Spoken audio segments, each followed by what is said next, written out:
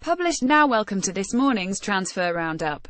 This edition features Mame Biram Diouf Penn's new Stoke deal plus more, so delve in below.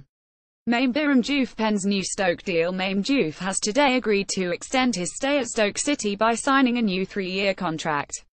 The popular Senegalese international's existing deal was due to expire at the end of this season but he is now committed to the Potters until at least the summer of 2020.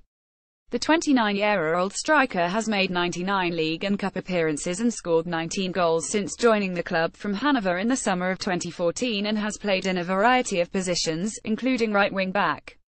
He remains at the club until 2020, source official club website.